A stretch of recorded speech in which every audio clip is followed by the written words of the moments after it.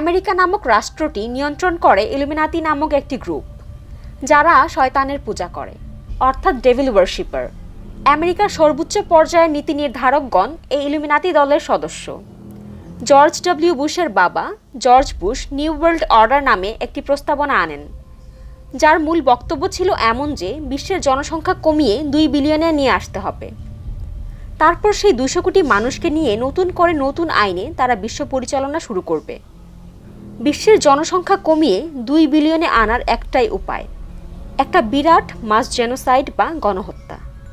AIDS রোগের virus সৃষ্টি করা হয়েছে আমেরিকার গোপন ল্যাবরেটরিতে। এই ভাইরাস টেস্ট করা হয় আফ্রিকার বানরের উপর। সেখান থেকে নানান পর্যায়ে ঘুরে একজন আমেরিকান সমকামী এই ভাইরাস আমেরিকায় নিয়ে আসেন। নতুন ইভোলা ভাইরাস সৃষ্টি করা হয়েছে আমেরিকার এয়ারফোর্সের ল্যাবরেটরিতে। এরপর ছড়ানো হয়েছে আফ্রিকায়। আমেরিকার প্রত্যেকটা প্রেসিডেন্ট দুইবার করে নির্বাচিত হতে পারেন। পরবর্তীতে আইন করে নির্ধারণ করা হয় যে, পরপর দুই টার্মের চেয়ে বেশি কোনো প্রেসিডেন্ট এ পদে থাকতে পারবেন না। যে আমেরিকার এফবিআই, লাদেন বা সাদ্দাম হুসেনকে গর্তের ভেতর থেকে বের করে আনতে সক্ষম, বিশ্বের সব শক্তিশালী স্যাটেলাইট যাদের কাছে আছে, তারা নিজের দেশের প্রেসিডেন্ট হত্যাকারীকে গ্রেফতার করতে পারলেন না। একটু অবাক হওয়ার মতো বিষয় বটে। জর্জ বুশের সন্তান জর্জ ডাব্লিউ বুশ কোনো নির্বাচিত প্রেসিডেন্ট ছিলেন না। কিছু নির্দিষ্ট সিনেটরের সম্মতিতে তাকে প্রেসিডেন্ট বানানো হয়। যিনি ছিলেন সিক্রেট সোসাইটির অন্যতম একজন নেতা। বুশ এসে পৃথিবী কাঁপালেন কিছু ইস্যু দিয়ে। জর্জ বুশ দ্বিতীয়বার ক্ষমতায় এলেন শুধুমাত্র নাইন ইলেভেন বা টুইন টাওয়ার ট্রেজেডির জন্য নেয়া কিছু অ্যাকশনের জন্য, যার নাম দেয়া হলো টেরোরিজম দমন। একটা মজার বিষয় হলো, বুশকে দ্বিতীয়বার ক্ষমতায় আনার জন্য টুইন টাওয়ার ট্রেজেডি ছিল সম্পূর্ণ সাজানো একটা নাটক, যা তারা আগেই ইঙ্গিত দিয়েছিলেন। ইলুমিনাতির বিভিন্ন সাইন আছে। গুগলে একটু সার্চ দিলেই পাওয়া যাবে। ইলুমিনাতির সবচেয়ে পপুলার সাইন হলো এক চোখের সাইন, যেটি আমেরিকার ওয়ান ডলার বিলেও পাওয়া যায়।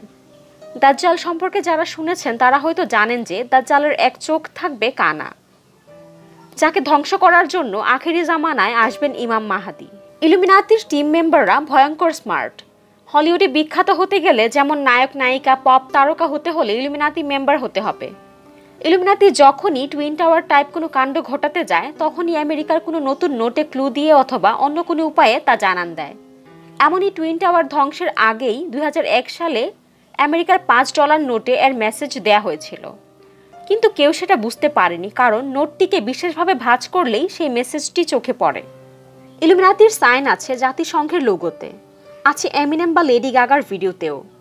সবচেয়ে ভয়ঙ্কর ব্যাপার, প্রচণ্ড জনপ্রিয় সিমসন কার্টুনের নানান সময়ের এপিসোডে পরবর্তী ভয়াবহ ঘটনাগুলো সম্পর্কে তারা আগেই ইঙ্গিত দিয়ে থাকেন।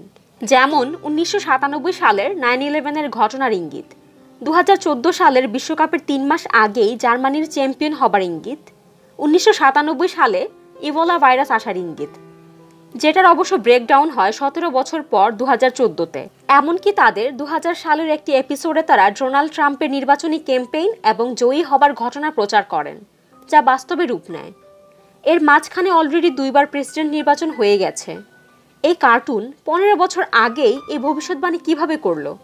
প্রতিটি ক্ষেত্রে যে এই সিক্রেট সোসাইটির বিস্তার, এ নিয়ে আর সন্দেহ থাকার কথা নয়।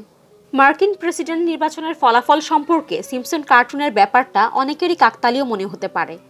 একটা, দুইটা কিংবা তিনটা ঘটনা কাকতালীয় মনে হতে পারে, কিন্তু একের পর এক ঘটে যাওয়া এসব ঘটনা কাকতালীয় হতে পারে না। মার্কিন নির্বাচন এবং সিমসন কার্টুনের ভিডিওগুলো দেখলেই বুঝতে পারবেন। এমনকি ক্যামো ট্রেলের মতো ভয়ঙ্কর অস্ত্রের ব্যাপারটাও তারা আগে থেকে জানান দিয়েছিল। মানুষ চাইলেই সূর্যকে ঢেকে দিতে পারবে, এমন একটি মেসেজও ছিল সিমসন কার্টুনের একটি এপিসোডে এমনটাই কিন্তু হচ্ছে। কেমিক্যাল স্প্রে করে যখন ইচ্ছা সানলাইটকে ঢেকে দেওয়া যায়। সিমসন কার্টুনের নাইন ইলেভেনের মতো ঘটনা, ইবোলা ভাইরাস সহ অন্যান্য আলোড়ন সৃষ্টিকারী ঘটনাসমূহ দশ থেকে বারো বছর আগেই তাদের কার্টুনের এপিসোডগুলোতে দেখানো হয়েছে। এবং সবাইকে তাক লাগিয়ে দিয়ে তাদের এপিসোডে দেখানো ঘটনাগুলো বাস্তবে রূপ নিয়েছে। এসব ঘটনাগুলো বিভিন্ন ধাঁধার যেমন জন্ম দিয়েছে, তেমনি উন্মোচিত করেছে কিছু রহস্যকেও।